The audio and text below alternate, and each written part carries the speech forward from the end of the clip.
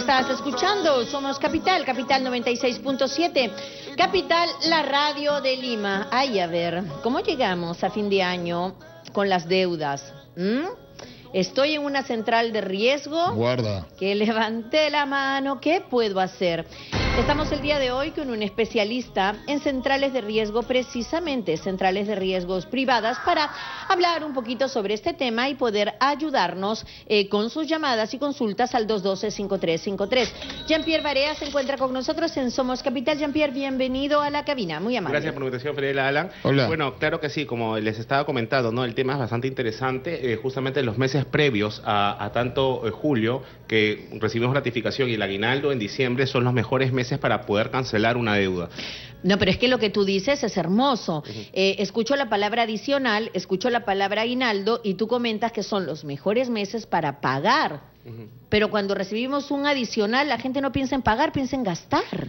Claro, depende, porque si una persona, digamos, se quiere proyectar para sacar un crédito vehicular, un crédito hipotecario, lo que va a querer es cancelar sus deudas para poder acceder a un crédito mayor. Ahora, ¿qué sucede con las personas que aún no acceden a un crédito o tienen un crédito mucho menor que simplemente de manera, digamos, es que no existe tampoco una educación financiera acá, acá en el Perú, digamos, tan amplia. Yo que veo el tema todos los días en el estudio que tengo, te digo, hay muchas personas que les ha ayudado a reestructurar su crédito, volver nuevamente a ser sujeto de crédito después de varios años y el año siguiente vuelven a venir por el mismo tema, ¿no? Entonces, a veces eh, ese, ese eh, falta ese plus, digamos, a las personas. Mm. Ser un- es un tema de responsabilidad de cada uno. Si bien es cierto, el banco también ofrece las tarjetas de crédito como, como si fuera el pan de cada día, también depende de la persona saber cómo usarlas, ¿no? ¿Y el peruano sabe usarla o no? En teoría, yo te digo, eh, por lo que yo veo día a día, el de nueve, de 10 personas, 9 no sabe. Y una realmente está bien informada. Digo, la mayoría nadie Ah, lee pero el ¿qué tal, contrato. ¿qué tal cifra que das? Te digo, es que nadie lee el contrato. Nadie lee de- las letritas chiquitas. Si bien es cierto, el contrato que uno firma con una entidad financiera, bancaria o digamos una, una caja, etc., eh, son, eh, son es un contrato por cláusulas este, por adhesión, es decir, uno cláusulas generales eh, por adhesión, es decir, no tiene la facultad esta persona de decir quiero modificar esta cláusula o quiero agregar una, un- una nueva cláusula, ¿no? Entonces ahí le que como te puedo decir, no le da esta facultad como digamos yo quiero hacer un contrato contigo y tú me dices, sabes que esto está bien, pero eso lo podemos modificar, no esa facultad, sino lo firmas, lo tomas o lo dejas, ¿no? ¿Qué significa estar en una central de riesgo? Eh, bueno, estar no necesaria estar en una central de riesgo privada, porque vamos a den- denominar CEPRIS a todas las centrales de riesgo privadas, que son como 15 en el Perú, ¿no? Entre la más importante, Infocoric y FASA, a la cual yo soy este, asociado, tanto mi estudio como, como mis otros estudios que tengo, pero eh, son como 15 centrales y cada vez va creciendo más, ¿no? Y la mayoría son de capitales extranjeros que invierten y compran la información a la superintendencia de banca y seguro. Ahora, volviendo a tu pregunta, eh, que, que no, no necesariamente estar en una central de riesgo eh, implica eh, estar reportado de manera negativa. Uno puede estar en una central de riesgo de manera positiva, pagando puntual. Del momento que uno tiene eh, su DNI, tiene 18 años y ya es una persona totalmente capaz legalmente, ya puede acceder a una, una línea de crédito o sacar un celular o, sea, o obtener un servicio. De ese momento ya puede estar registrado en una central de riesgo. El estar registrado no es algo negativo, sino el momento que tú Tu pagas o no comportamiento. pagas. O Exactamente. sea, digamos que yo estando en un central- en una central de riesgo, ¿puedo sacar un auto? Eh, si estás de manera positiva, digamos, tú pagas tus deudas puntual, no hay ningún problema. Es decir, acá el tema no es que tú estés o no estés, sino que estés pagando puntual. Tú vas a estar si es que pagas tu deuda puntual y si no pagas también vas a estar, pero como una situación adversa, ¿no? ¿Y cuándo sales de esa central de riesgo? Porque Ahora, igual nadie quiere estar. Al momento que uno cancela una deuda, tiene por lo menos un plazo de dos años como mínimo a cinco. Es decir, yo le debo una entidad X, eh, la cancelo, digamos, el día de hoy. Recién el próximo mes eh, va, va a salir en mi reporte que ya cancelé. Sin embargo, desde que yo cancelo en adelante, tengo un castigo de dos a cinco años. Es decir, yo tengo mi carta de no adeudo y tengo un castigo de dos años como mínimo a cinco como máximo. Es un, dependiendo del tipo de crédito, eh, cuántas cuotas pagó, porque ahí la superintendencia de banca y seguro va a ver el tema, o sea, si fue algo, digamos que la persona adrede lo hizo del primer mes y nunca pagó ninguna, Escúchame. o lo fue pagando, ¿no? Jean-Pierre, el peruano, la peruana, ¿en qué nos endeudamos más? Eh, sobre todo lo que yo he visto, y como te digo, lo veo día a día, es el tema de las tarjetas de crédito. Tema de tarjeta de crédito, de ahí siguen los préstamos personales, de ahí rara vez los hipotecarios, porque bueno, nadie quiere jugar con su casa, ¿no? Entonces, al final dejan de pagar otros, otros préstamos, pero el hipotecario claro. es un préstamo eh, eh, especial porque es un préstamo burbuja. Yo puedo tener con el banco tres, cuatro productos, digamos, tarjeta, vehicular, hipotecario y personal. Pero mientras que yo pague el hipotecario, los otros tres no pueden ir con eso, porque existe una burbuja como un campo de fuerza que protege el hipotecario y como está grabada la propiedad, no- el mismo banco banco tampoco puede ejecutar sobre la misma propiedad ni puede juntar los créditos para ejecutar la propiedad. Entonces, mientras que uno paga el hipotecario y tenga otros productos con el mismo banco, no va a tener ese problema, ¿no? Ya, y si tengo, perdón, este dirá que tendrá la flaca en su billetera, ¿no? ya. si tengo más de una tarjeta endeudada, si tengo dos, si tengo tres tarjetas endeudadas, Mira, lo primero que yo recomiendo, bueno, por disposición de la Superintendencia de Banca y Seguro solamente se puede tener hasta cinco tarjetas de crédito, que a mí me parece una exageración. Sí, es bastante. Es una exageración porque eh, eh, acá el tema son cinco tarjetas de crédito que una te puede dar disposición de compras, otra disposición de efectivo y son varios subpréstamos dentro de una sola tarjeta. Entonces, acá ¿qué, qué influye? Que yo puedo sacar eh, un préstamo personal vinculado a una tarjeta y con el otro hago compras o retiro en efectivo. Entonces ahí se genera el desorden en la persona que no lo sabe manejar y no lo usa bien. Ahí después cae una central de riesgo de manera adversa. Y ahí está el problema que para después reinsertarse el sistema financiero tiene que pasar. Yo pago el día de hoy y tengo que esperar de dos a cinco años promedio porque no existe realmente una norma, hay un vacío normativo eh, que fue empla- emplazado el, el- Congreso de la República hace seis, siete años y hasta ahora no existe un plazo máximo de permanencia en una central de riesgo. Es decir, yo lo cancelo y ya tengo mi carta no adeudo, pero no puedo volver a resentarme de manera automática. Entonces es un tema bien complicado y, y nada, el mismo Tribunal Constitucional ha citado al Congreso de la República diciendo que por qué, por ejemplo, en las centrales de riesgo privadas el máximo de tiempo de permanencia son cinco años. Es decir, en cinco años la información se va a borrar en las centrales de riesgo privadas, pero en la Superintendencia de Banca y Seguro se va a mantener de manera limitada en un plazo que ellos crean inconveniente, porque no está norma- normado, ¿me entiendes? Entonces ahí está el- el- el- la omisión constitucional que se emplaza el Congreso para que lo puedan este, legislar, porque, por ejemplo, en el tema de la Cámara de Comercio, dependiendo del título valor, sea cheque, sea letra, sea pagaré, tiene dos, tres, cuatro años de prescripción. O sea, yo no pago, yo no lo pago, me protestan el cheque y a los tres años se va a borrar automático, igual que las centrales de riesgo privadas, pero en la SBS voy a estar de, permanentemente registrado hasta que yo cancele la deuda. Muy bien, vamos a ir a la, a la pausa. Vamos a ir a la pausa, son las 10 de la mañana con 28 minutos. Nos acompaña Jean-Pierre Barea, de, especialista en, en centrales de riesgo privadas. Eh, Tú llegas a fin de año con deudas, limpio. ¿Cuánto debes? Eh, ¿Estás esperando la gratis como loco para pagar tu deuda? Hay, hay gente que, paga- que espera su gratis para pagar de... Sí, espera. ¿no? ¿No? Sí, sí, de todas maneras. Espera la gratificación o el aguinaldo para de una vez cancelar las deudas. Bueno, normalmente las más pequeñas, ¿no? Que son de tarjetas de crédito. Ujú. Sí, ¿y por qué la gente se endeuda tanto con las tarjetas de crédito, no? Las promociones, la- Ah. el tema de, digamos, este... Hay a veces he visto restaurantes que dicen el, el 30% de descuento si va con esa tarjeta y, y solamente a tal día. Entonces yo, pucha, agarro, voy con mi pareja y voy a gastar en ese día, pero realmente no debía hacerlo, pero simplemente me, me incitan, ¿no? Ujú. Eh, yo, yo he visto que la gente compra cigarros. Gaseosa con tarjeta de crédito. O sea, eh, eh, eh, eso es Claro, increíble. ahí, hay- ahí yo, bueno, se recomienda usar la tarjeta de débito cuando sean eh, menos de 100 soles, 150 soles, porque al final la tasa de interés va a ser mayor y uno se, se endeuda más, ¿no? Muy bien, pausa y venimos con eso. 10 de la mañana con 29 minutos, esperamos sus llamadas al 212-5353. Estamos en Capital, tu opinión importa.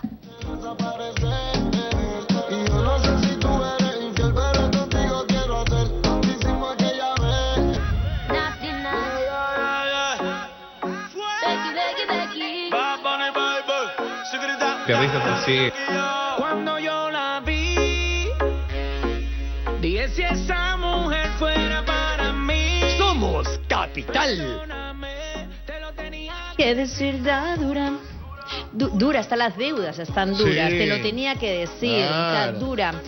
Aunque te veas bien, cuando tienes deudas, la cosa se complica y se pone horrorosa. 10 con 32. Llego con deudas a fin de año. Estoy en una central de riesgo. ¿Qué puedo hacer? Se encuentra con nosotros el especialista Jean-Pierre Barea, especialista en centrales de riesgos privadas. Vamos a escuchar sus llamadas y comentarios al 212-5353. Aprovechen porque yo estoy haciendo muchísimas preguntas. Atendemos la llamada de... Joana, ¿cómo estás? Bienvenida a Capital, Joana. Buenos días, disculpe. Yo tenía, yo tenía, yo tenía un, ah, este, este año resulta que mi esposo quería sacar un crédito y resulta que yo tenía tarjeta de estilos, de una tienda de estilos que se dice. Resulta que en, en la tienda yo, yo yo figuraba que no tenía deuda. Y, dice que en la, en la Cámara de Comercio resulta que ahí yo yo figuro como como si yo tuviera, este, yo seguiría, este, que tuviera cuenta todavía, ¿no? Que, debe, que debo todavía. Pero yo, yo ya me cancelé, pero ¿cómo puedo hacer para poder, este, que me borren esa, esa deuda que supuestamente tengo todavía. Claro, claro que sí. A ver, vamos a escuchar acá al especialista. Gracias, Linda, por llamar. Mira, eh, lo primero que hay que informar a las personas, porque es un error muy común, confunden mucho el tema de las centrales de riesgo, que son las centrales de riesgo privadas y la SBS, que son dos cosas, una pública y una privada, con la Cámara de Comercio. La Cámara de Comercio es, eh, es aquella entidad que solamente va a ver lo que son letras, pagarés y cheques, ¿ok? Documentos que se puedan protestar. Ahora ya no es necesario protestarlos en la notaría, uno los puede protestar, también, eh, disculpa, no, no se tienen que protestar necesariamente en la Cámara de Comercio, también se puede protestar en la misma notaría, ¿no? Eh, entonces, eh, al momento cuando uno cancela una deuda, digamos, en una entidad financiera, sea un título o valor, letra, pagaré o cheque, eh, me van a dar una carta de no adeudo. En cambio, cuando yo quiero cancelar un título o valor protestado en la Cámara de Comercio, lo que me van a dar es una carta de no morosidad. ¿Ok? Son dos cosas distintas. Uno, yo puedo revisar la central de riesgo privada, digamos, Infocor, Sentinel, entre varias que hay, y puedo salir libre, pero porque ya cancelé la deuda, y aunque no haya pedido la carta de no adeudo, que se tiene que pedir de todas maneras por seguridad para evitar un doble pago o una repetición del pago, eh, se- en la Cámara de Comercio puedo seguir porque te- hay que hacer un trámite para levantar. Ahí simplemente se levanta. Sin embargo, yo puedo levantar en la Cámara de Comercio la- el título valor que yo tengo protestado, sin embargo, puede ser que el, el castigo de la Superintendencia de Banca y Seguro sea de dos a cinco años igual y no puedo obtener por eso un crédito. ¿Qué tal? Que leer todo. Ah, Ofelia, buen día, bienvenida a Somos Capital. Te escuchamos, preciosa, te escucha el especialista. Buenos días, muy amable. La pregunta es, cuando nosotros accedemos a un crédito, nos dan efectivamente como cinco hojas o quizás más, con letras muy pequeñitas. No tenemos quizás todo el tiempo para leerlo, pero mi pregunta va por el tema de la membresía. Si yo ya accedo a un crédito y, y pago puntualmente como debe de ser, este, eh, ellos que me dicen que tengo que tener un consumo mensual, por ejemplo, de 1.200 soles para no pagar los 399 soles, que es la membresía que nos cobran en febrero, creo.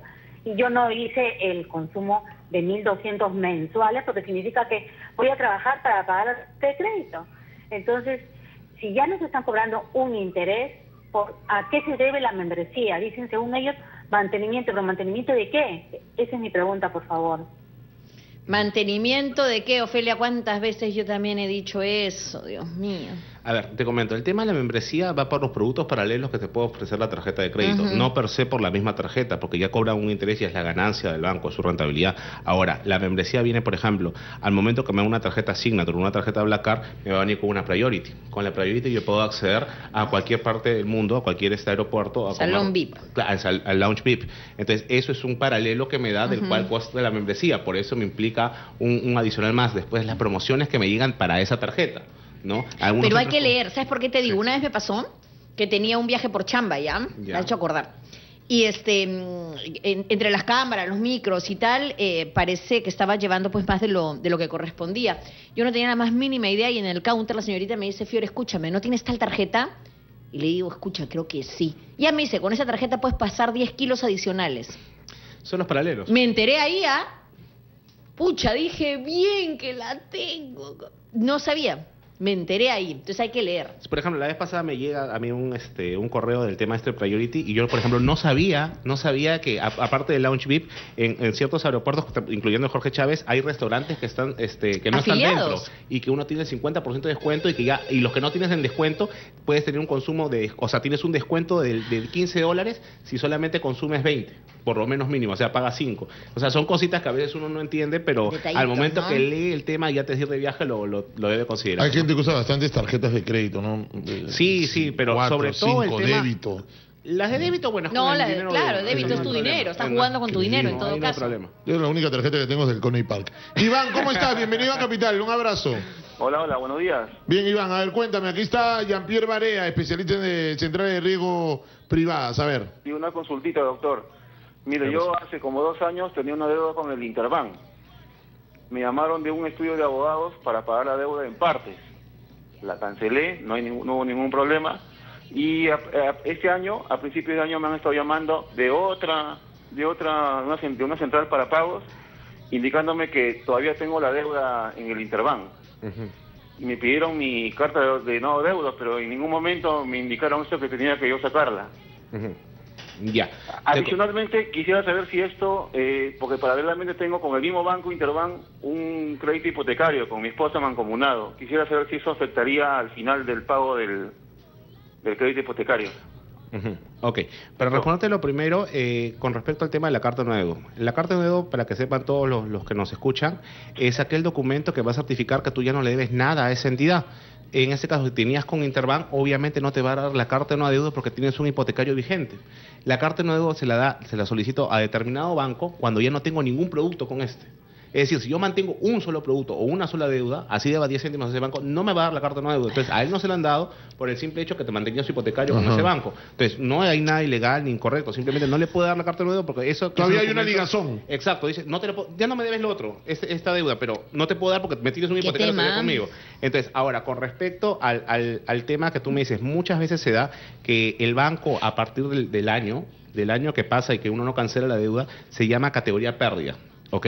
¿Qué quiere decir? Que yo debo un promedio de 365 días, un año. En ese, en ese lapso, el banco tiene que vender esa deuda, porque si no va a seguir pagando impuestos por un interés que no gana. Entonces, porque el banco gana por el interés. Entonces, al momento que vende esta deuda, la dan dos formas. Te la vendo o te la cedo la cobranza. Si te la vendo, digamos, por decir una cifra, 10 mil soles. ¿Sabes qué? Eh, la van un remate como una subasta, como se da en los carros, o a veces salen en cable que venden cosas. Igualito en subasta, la deuda de tal persona, ta, ta, ta. ¿Cuánto es? 10 mil, ya. Y existe un algoritmo en el cual van a investigar a la persona, RENIEC, registros públicos, eh, salud, planilla, todo para saber hasta qué carro tiene y todo el tema y dónde está situado. Y el programa va a sacar una expectativa de cobro de acuerdo a la capacidad de pago y lo cuánto recibe la persona, sin vulnerar el, el- el- el secreto bancario y todo eso, ¿no? Entonces, este algoritmo va a decir, ya, tal persona, Pedrito Pérez, ya, esta persona tiene que pagar eh, aproximadamente esto, esta cantidad en un año, en dos años, y de acuerdo a eso dicen, ya, son 10 mil, ahora te, puedo- te- solamente te, te la, te la compro en dos. Entonces, es un tema bien interesante. Interesante para ti, pero para mí no. 10 con 40 recibimos ahora. Diana, ¿cómo estás? Aló. Hola Diana querida, bienvenida. Te escucha el especialista linda. Hola, Fiorelita. Mira, mi pregunta es, yo tengo tarjeta y yo siempre compro directo. ¿Por qué? Porque gano puntos. Porque eso es lo que te ofrecen en el banco, ¿no? Entonces, con esos puntos tú compras, puedes comprar pasajes, diferentes cosas. Ya, ahora yo digo, el banco gana interés por eso, por prestarme, o sea, su tarjeta, porque yo no compro a cuotas, a nada. Simplemente compro directo. Entonces yo, yo digo, ¿qué gana el banco? Porque si yo le estoy comprando directo y me- ellos me dicen, no, usted no está pagando ningún interés. Pero como yo hago compras, todo compro, todo, todo, todo compro con la tarjeta por- para ganar mis puntos, para poderme comprar pasajes, porque a mí me encanta viajar. Entonces, eh, yo digo, ¿qué es lo que está ganando el banco conmigo? O sí me está cobrando interés y me engaña y me dice, no, no te cobramos interés porque tus compras son directo. ¿Es así? Y, y pagas puntual, linda. Tú eres de las que paga Ah, sí, puntual. puntual, puntual. A ver, puntual. vamos a preguntarle a la especialista. Eh, las tarjetas suelen estar, eh, gracias preciosa, suelen estar, este, ahora todo tiene beneficios, ¿no es cierto? Tú eh, pagas y, y puedes acceder a millas y tal como funcionan muchas tarjetas. El oyente que acaba de llamar paga puntual, eh, siempre compra, eh, digamos, eh, no en cuotas, sino, eh, ¿cómo se llama? ¿Diferido? Eh, no, paga dentro del mes de facturación. Paga dentro del mes de facturación, entonces pasa piola, todo bien. ¿Qué gana el banco? Bueno, el banco, primero el sistema del banco de cómo trabaja es que capta el dinero de los ahorristas y lo encaja en préstamos. Es decir, prácticamente el 10% del dinero eh, realmente es del banco y el 90% es de los ahorristas. Por eso la superintendencia de seguros es el que lo regula. Ah, Ok, ahora qué sucede? El banco lo que quiere es captar más dinero del personal, de las personas, de los usuarios, de todos nosotros, para poder colocarlo a otras personas a una tasa diferenciada. Yo te pago, por ejemplo, un 1% de interés por guardar tu dinero, pero a la otra persona le, le- le- le voy a cobrar el 5%, por decir. Entonces, ahí está la ganancia del banco. Ahora, en este caso, sí, de todas maneras, genera una cuota administrativa. Al momento que va a recibir su estado de cuenta, hay, hay unos gastos Claro. eh, que tiene que pagar el banco. En el- en el que no la están engañando, es lo que corresponde, pero sin duda al banco le conviene más una, un comportamiento, eh, el opuesto del comportamiento. Al banco le Ajá. conviene muchísimo más, no Claro. una persona que Porque pague gana un puntual. y derivado, da- Uy, gana un derivado. Aparte del ITF, que es, ba- que, es, que es bien conocido como el impuesto chismoso, que con eso la SUNAT sabe uno cuánto, cuánto este gana. Digamos, tú haces una, eh, una transacción en un banco con tu tarjeta de débito o crédito y va a salir un, un coeficiente que es, eh, digamos, 0,02 centavos. Entonces, con eso saben cuánto es lo que tú has estado haciendo una transacción financiera. Si al momento tú al final declaras en, en SUNAT, suman todos los coeficientes del año y al, y al cierre no, no es... No cuadra. nunca cuadra. O sea, nunca cuadra, pero siempre, o sea, hay un, hay un, hay un equilibrio que tiene que haber, ¿no? Entonces, cuando no cuadra, ahí dice, no, acá a la persona le vamos a pedir los documentos. ¿no? Muy bien, eh, Jean-Pierre. Eh, ¿Algún consejo, recomendaciones? ¿Qué pasa si yo mañana voy a recibir una platita extra? ¿Pago mañana mi deuda o no? Yo les aconsejo que lo primero que tienen que cancelar son el tema de las tarjetas de crédito, eh, a diferencia de los demás créditos, tanto vehicular, hipotecario, que son a mayor, a mayor plazo, igual que el personal, eh, tienen un interés mucho más alto y sobre todo la disposición de efectivo, entonces les recomiendo que, que cancelen las, lo que serían las, las tarjetas de crédito. Claro, porque además se viene la Navidad, olvídate, ¿no? Te endeudas sobre una deuda, ya, chao. No, sí, como estamos comentando, ¿no? nosotros somos el único país eh, que da los 14 solos al año, ¿no? Entonces, eh, aprovechamos siempre nosotros, eh, los peruanos, entre en julio, tanto la ratificación o la aguinaldo en diciembre, en cancelar eh, las deudas, la rubita que uno tiene por ahí, unos temas, ¿no? Aunque otras personas lo usan cuando no tienen las deudas o están en una muy buena situación, lo usan para viajar o comprar otras cosas, ¿no? Pero sobre todo la gente este, que se ha endeudado para ir a Rusia, ¿no? Ahora está pagando de... y, y más o menos que, porque ya que es una vaina también da pena, pues, da pena cuando entra tu, tu, tu sueldo, que no es mucho, y pucha, que se vaya todo en deudas, yo sé que es lo que corresponde, pero da pena, pues, porque hay que guardar además por otras cosas. Así es. ¿Cuánto más o menos es el porcentaje que yo eh, debo de destinar a deudas mensual? Uno se debe endeudar para, por lo menos para el tema correspondiente a los pagos de deuda por más de un 30%. Porque con el 30% todavía me queda el 70%, un 20% para ahorrar y un 50% para vivir, ¿no? Ahora, es muy fácil decirlo en la, así en la, en la teoría, pero en la Claro. práctica es, es- es más bien complicado. ¿Cuánto, cuánto, ¿Cuánto es el porcentaje de peruanos deudores? Mira, yo lo saqué la cifra hace unos meses, siempre varía, pero estamos más o menos hablando el, del 65% de personas que está en sobreendeudamiento. Hay personas que están endeudadas, o sea, hay que ent- entender dos cosas. El sobreendeudamiento quiere decir que yo soy sobreendeudado, soy hasta el copete, digamos, pero estoy pagando. Ya, eso, esa cantidad de peruanos, ¿cuánto es el porcentaje? 65. 65 Sí, peruanos están hasta el claro. copete. 65. A mí no me extraña. Sí, 65. 65% de peruanos están hasta el Sí. copete. Totalmente. Somos bastantes. ¿Qué te pasa? Somos bastantes. Somos bastantes, pues. 65 es una. Ahora, no quiere decir que no paguen, solamente están sobreendeudadados. Claro, yo me compro- exacto. No quiere decir que no paguen, están... Ah, no, no, no, no. No, están- sí ya. pagamos, pagamos las consecuencias.